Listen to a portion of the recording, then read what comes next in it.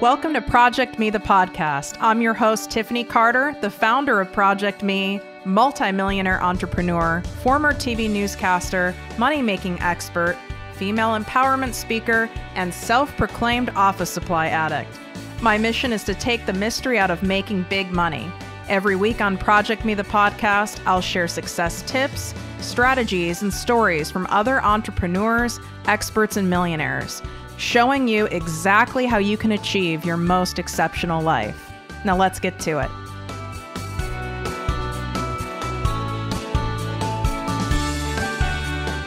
Exciting announcement for all of my listeners. I've officially opened my exclusive group, the Project Me Passive Income Posse, to the public. This group is by application only, so we can keep the group high vibe and spend our time, energy, and expertise only helping those of you who truly want massive success and impact. You get live weekly trainings from me, special guest coaches, and direct access to me and my business partner for all of your questions. To learn more and apply, go to projectmewithtiffany.com, click on Work with Me, and select Project Me Posse. And of course, any questions, feel free to DM me at Project Me with Tiffany.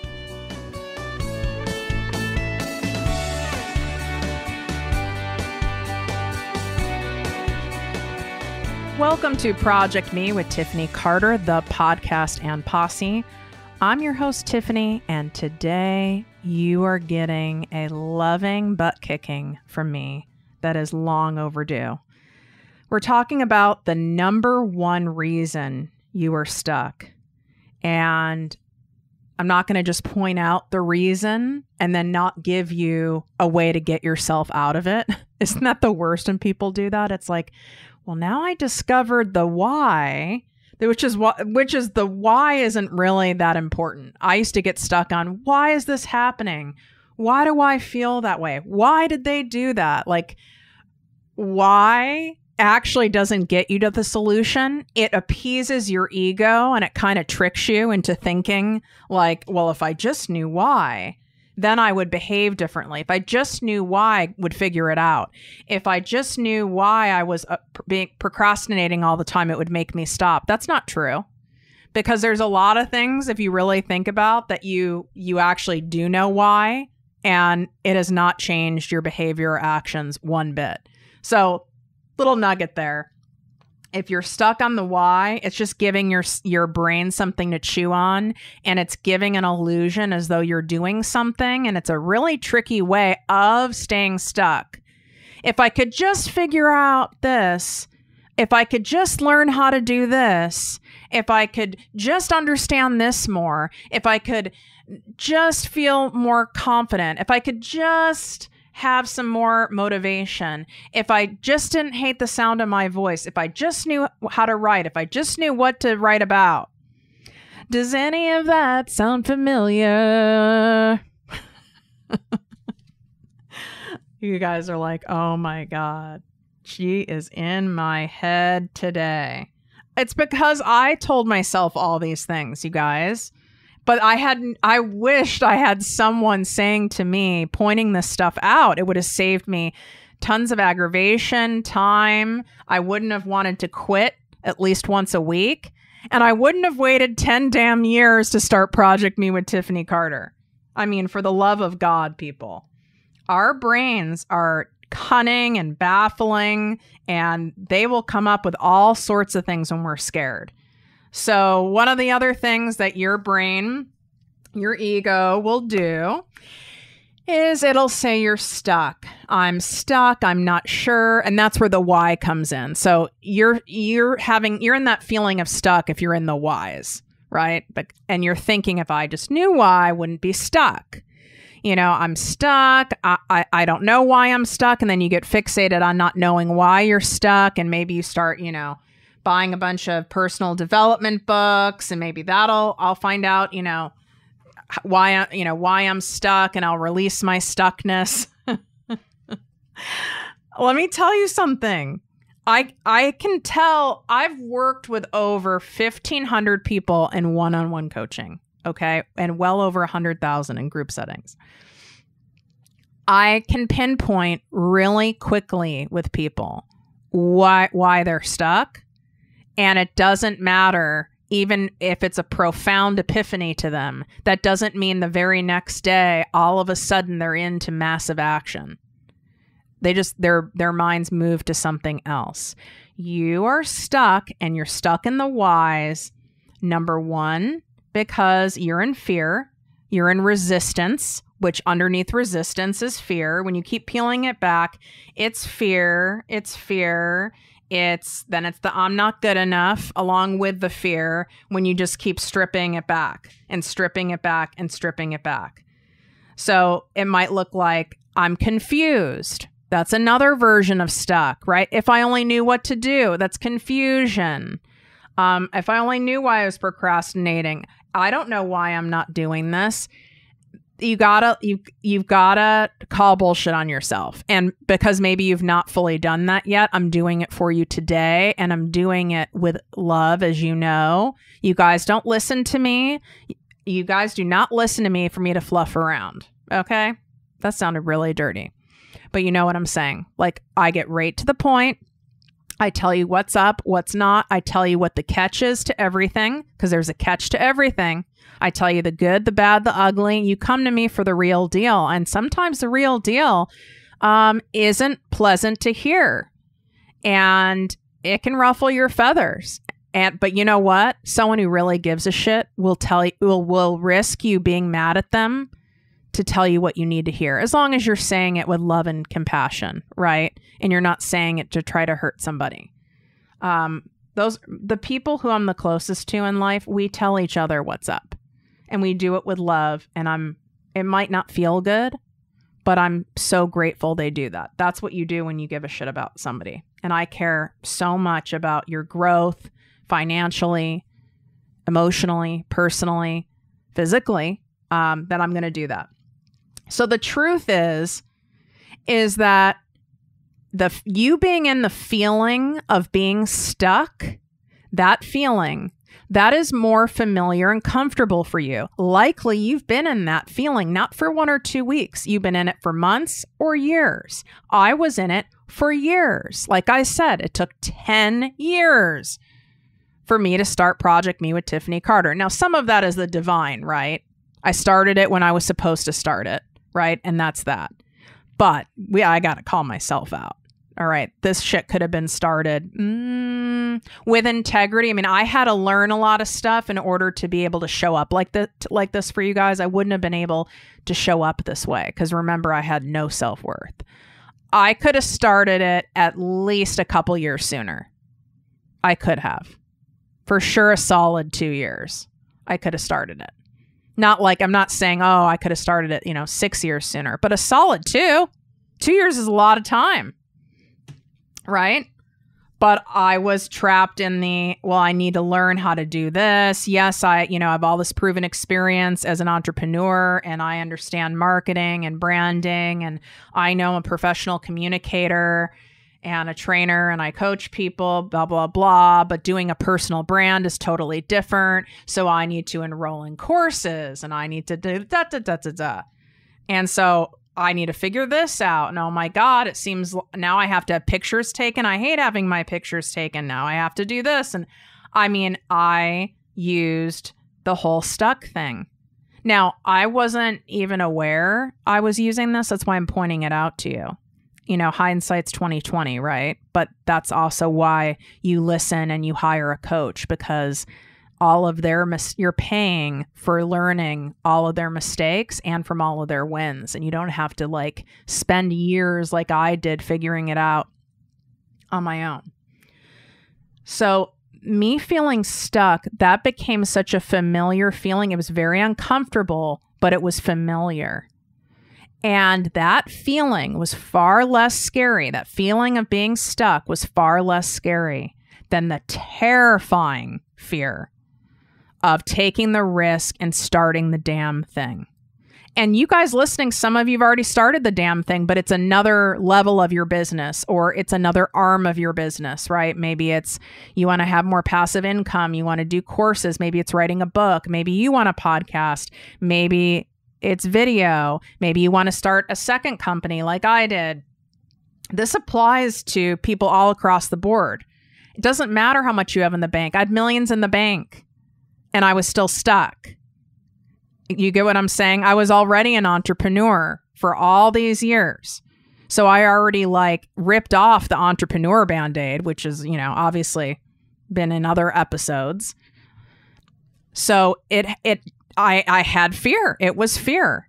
It was personal brand. It was a, my image, right? I've never, my other company, yes, I'm the president, but it's not like, here's Tiffany Carter, and I'm doing jazz hands right now. Like, hi, like me, me, and more of me. That felt very um, self absorbed and narcissistic to me.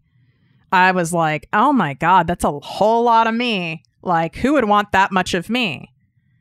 Well, what did it come down to? It came down to my self worth, right? My lack of self worth. Who would want that much of me? Because because me isn't that great. I think I'm pretty okay at that. You know, at at a certain point, I got from hating myself to thinking I was okay to liking myself then loving myself. It's a journey, but I was like, I mean, I'm okay and to a certain point, but Jesus, who's going to want that much of me, right? So, like I said, the being stuck, what's peeled behind it is fear and is not feeling good enough not feeling smart enough. And that was another thing I had, right? Like, well, why would someone listen to me? Yes, I have all this experience. Yes, I have proof of concept. Um, yes, I do know what the hell I'm doing in business, and I and I did have confidence in that. I just didn't have self worth around me, my being, so to speak. Um, but I was like, but there's other people that you could listen to that went to Harvard, you know, that have companies that are, you know, $500 million. You know, there's Sir Richard Branson. Why in the hell would someone listen to me? And then I went down that whole path. Well, you peel that back, that is, I'm not good enough. So it comes down to, you know, your your fear of failing, fear of looking stupid, fear of not getting results for people, fear of putting all your time and energy and money into something and then it flopping, um, fear of of being found out that you're really not all that great. So that feeling I had of being stuck and chewing on stuff and uh, I just need to I know I just need to do it. I need to find a way to get more confident about it and I just need to figure out, you know, how this whole, you know, personal branding thing works. And chewing on that, that kind of stress and discomfort just was more comfortable to me than going for the damn thing. That was terrifying. This is the number one reason you're stuck is because you are in you've been stuck for so long that it's familiar. You know that feeling and in a weird way it keeps you so to speak safe because you're not taking a risk. You're you're a bird that is long overdue for leaving the damn nest and yet you don't want to leave you want to leave the nest but you're you're not sure if you can fly without crashing into something but you know you want to leave the nest then you watch ev- all the other birds oh my god this analogy is going crazy but that's fine um, you, then you watch all the other birds who are flying around having the best time doing loop-de-loos and meanwhile you're still in the damn nest It makes you feel like shit and that's not a good feeling yet that's more of a comfortable, safe feeling to you than taking a damn risk of leaving the nest. And yeah, maybe you do fall. Maybe you do slam into a window. Maybe you do, but maybe you don't. Maybe you also fly. Maybe you're a fucking natural at it. Maybe you can do triple loop de loos and right off the bat. You don't know. You don't you don't know because you're not taking the risk of doing it. Yet you're sitting in the misery and the discomfort of watching other people doing it, watching another month go by, another year go by, and you're not going after what you know you're meant to do, what you know you want to do. You're staying at the same damn workplace that might not be so bad, but might not be so bad isn't really thriving in life, is it? Right? and it's really it's that simple but the most simple things are the hardest usually to do so here's how i went from that stuck zone you know, stuck in that spot, you have to have like I call it like the come to Jesus conversation with yourself. It's like it's like goes like this, you know. So what what's it going to be? What's it going to be, Tiff? Are you going to just keep going on another year? Believe me, I knew how many years had gone by every fucking year. I was in a self-imposed prison. I could tell you even the year and years and months were going by. I had the idea for Project Me with Tiffany Carter. The name, even sketches of the logo when I was recovering from spine surgery from my workout addiction. And yes, it's a real addiction. And for the first time in my life, I was forced to be still for that long. And you couldn't sit up, I could only lay down. And this all came to me. The premise, the purpose, I'm going to cry the purpose, the premise, the people, it all came to me because I finally slowed the fuck down. God made me slow down for a long period of time and it came to me and it hit me very clear. Very clear. Yet it, I wasn't like, I'm going to start this tomorrow. I was like, I don't know what I'm supposed to do next. And I kind of let it go. I, that idea never left me never left me. I might not have thought about it every day, but it'd pop up once a week, it'd pop up once a month. And you better damn well believe it was like every year on my birthday. Cause you know, those pivotal like moments, right, in your life, like certain birthdays, or maybe it's every birthday. There are these markers in your life, right? Or maybe it's a death you know, for a lot of people, it's this whole COVID thing and, and seeing, oh my God, like what could happen in life? Something could change any day. I need to get my shit together. And every birthday be another birthday. I'm not I'm not doing what I'm meant to do to serve. Yes, I support my charities and my main you know, nonprofit mission, which is to rescue women, teens, and children from being sex trafficked, right? Yes, I'm very fulfilled in that part. But that's not that's not my um that's not my fulfilling business that I monetize, right? I have another episode on the whole multi-passionate entrepreneur thing. Some things are not meant to be monetized. This was meant to be monetized. This was supposed to be my vocation and I was I was I wasn't ready. I was I was stuck. I was in that and finally I mean, it was about mm, we're getting close to 3 years ago now. On my birthday. September 5th, by the way. Virgo vibes. Um I was like, "Tiff, what in the hell are you going to do here? It was a health crisis too because I got very, very sick to where I wanted to die. Um, and I was like, oh my God, if I died or I was like so sick where I wasn't able to, you know, I'm not able to function well. oh my God, like life could be taken from me. Life can change in a moment. And I didn't go after this dream that's been sitting in my heart and soul. What in the fuck am I doing? What are you going to do, girl? What are you going to do? Are you going to just be willing to risk it? And maybe you look like an asshole. Maybe you'll lose clients from your other company, you know, your corporate clients, because they'll be like, this is frivolous you know, to have a personal brand. You have a podcast, you know, that's not, you know, that's not professional, you know, and we don't approve of the things you're talking about and you swear and you talk about God. Okay. So let's just say all that happens. All those all that worst case scenario happens. What's worse? Uh, do I want to li- live in purgatory where I just keep watching every year go by and I don't follow that dream that's sitting on my heart? Um, just because I, of what could happen. Um, because I can tell you something that regret is going to trump everything.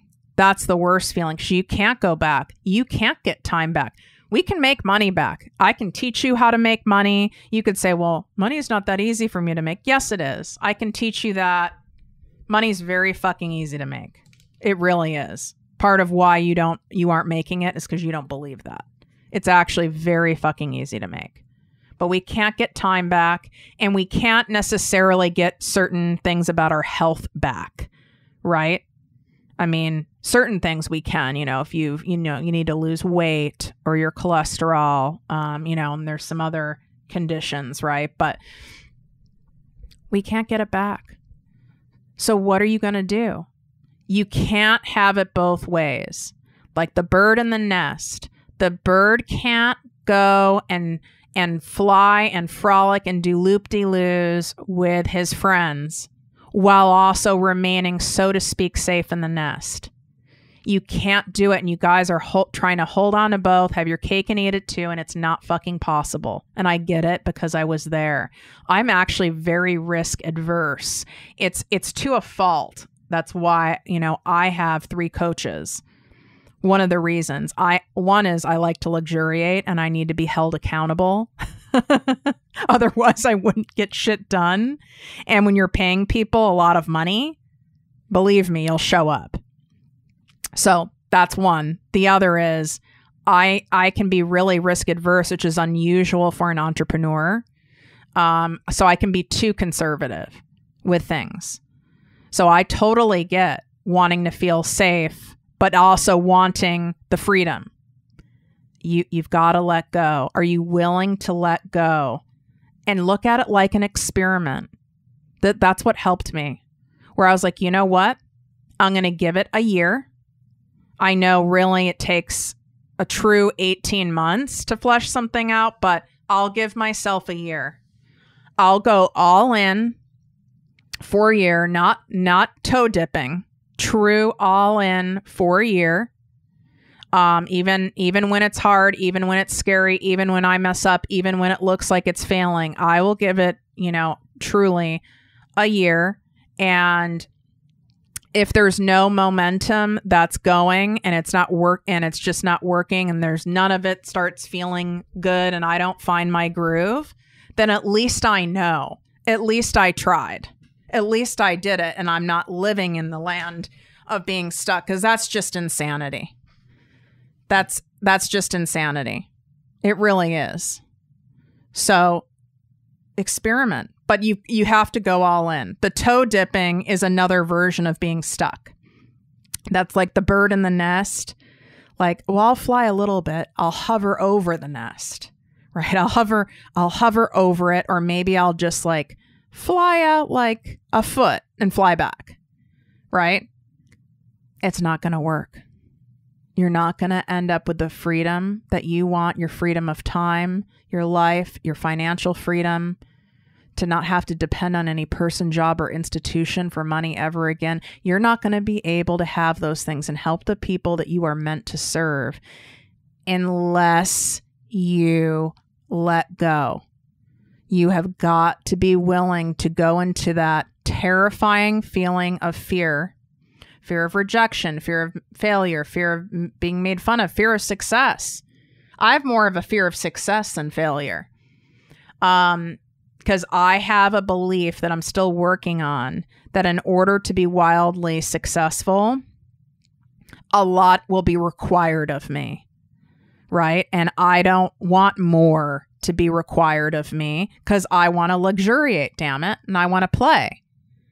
And so that was part of my resistance or you know or some of these you know a lot of these beliefs we hold on to that was some of my resistance um, because i was like oh my god i don't want to go back to working those 12 hours a day that's what got me sick and i don't have any interest in doing that and i want to enjoy life so here's a different question how can i do it in a way that feels fun and exciting and enjoyable you don't have to do it the way Polly the influencer does it. You don't have to do it Tiffany Carter's way.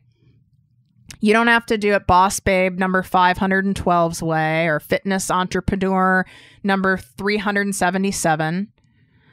You do it in your way as long as you go all in your way, your style, what feels good and in integrity and aligned with you. What I teach, you know, in my, you know, 2 month private business coaching are my emotional based sales techniques. I have proven strategy I teach you to attract ideal clients and then convert them into paying customers. I teach you the strategy but there is a lot of gray area where we customize how you attract and convert customers. We customize it to you. There isn't just one way. I have a proven strategy and a technique that you can plug and play into many, many, many, many different ways. I'll tell it's kind of like the workout. You know when they say for working out, find a workout you enjoy cuz then you'll be consistent. It's the same as business. You find you find a way of generating new clients, leads, right? Generating leads and converting them into paying clients in a way that's exciting and is fun and, you know, feels good to you then you're going to be consistent about it. And that's my job to make sure we find that and to implement a plug and play system so that the damn thing actually makes you money and you don't have a jobby, right? You end up having a real business because we're not available for jobbies. But I can sit here and give you my exact methods. I can give you all of my things but none of that matters if you're not willing to move out of that comfortable, familiar feeling of being stuck and you're willing to move into the terrifying fear of letting go and going all in. I, that's why I only take 30% of people who apply to work with me because I can only help you if you're willing to go all in. Otherwise, it's a waste of your time and it's a waste of mine. By the way, I am still taking summer applications too for my um, two month private business coaching. I've never taken summer applications before, so there isn't going to be that much time left for me to accept applications because I'm getting really full. So you know that you want to go all in. You don't have to do it alone. You're like, okay, I, I had the come to Jesus talk Tiffany talked, you know, was talking about. And I'm going to stop toe dipping and I'm going to go all in. You know that. And you want to have someone guide you and be by your side and show you, you know, how to do it the profitable way and cut out a lot of the headache and figuring it out part, then apply for my two month private coaching. If you are in a zone where you are toe dipping and you want to go all in, but I mean, you're really stuck and you need, you really need help. You really need help getting to that let go spot. It would be better for you to book a 90 minute session with me. And I just opened um, August time spot spots. So book a 90 minute session with me so we can we can get you there. I'll have the direct come to Jesus talk, whether you believe in Jesus or not. I'll have that direct talk to you and we'll we'll help get you there.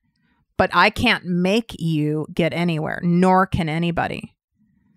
And they're waiting for the right time. That's all all bullshit. That all goes with stuck.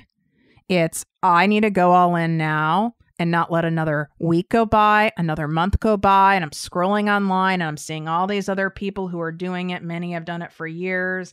And then you start going, God, now maybe it's too late. If I'd only started sooner, now the market seems so saturated. More lies. That's more shit that comes from the stuck zone. Any market that is profitable where there's a lot of money to be made is saturated. Look at the beauty industry. And yet lo and behold, there is always room for, for new beauty lines, like Rihanna's Fenty line, which I'm obsessed with, right? There's a lot of celebrity makeup lines, perfumes. I mean, good Lord, it's like every celebrity has a perfume, yet they make millions and millions of dollars off it. So that's just another another stuck lie. So are you willing to go into that terrifying feeling of going all in, I would suggest say you're experimenting. Say I'm going to do it for a year. I'm going to go on all in for a year. If you say I'll go all in for 3 months, you're not all in. That's a version of toe dipping. You've got at least give me a year. A year commitment. Give yourself that. Aren't you worth that? Or do you want to be, you know, a 75 year old woman who's like, oh my God, I can't believe I didn't go for that. I could have done that. Do you want to keep watching these other people online, which a lot of them you know that you're more qualified? You you know you're judge you're you're Judge Judy on that shit. You're more qualified, you have more experience, um, you're more authentic, you're more relatable. You want to keep watching Polly the influencers cashing in, doing their thing. Well, Polly the influencer went all in. So while you're sitting there in the damn nest, what's it going to be? Share this episode. Take a screenshot. I want you to share this on social media. Share it in your Instagram stories and tag me at Project Me with Tiffany so I know you listened to this episode. There is guaranteed at least one person in your audience, even if you only have 73 followers, that needs to hear this episode. This could be the catalyst for them actually going for it. So be of service, take a screenshot, share it in your Instagram stories, tag me at Project Me with Tiffany, and I will also be resharing um, your posts as well. And let's spread the word on this. You never know. If this really resonated with you, for sure it's going to resonate with someone else. Pay it forward. Wishing you guys great health, wealth, and worth as always. Love you. If you enjoyed this podcast, please write a five star review on iTunes. Not only will this make me super happy, but it will allow more listeners to find our special show. Simply help me help others.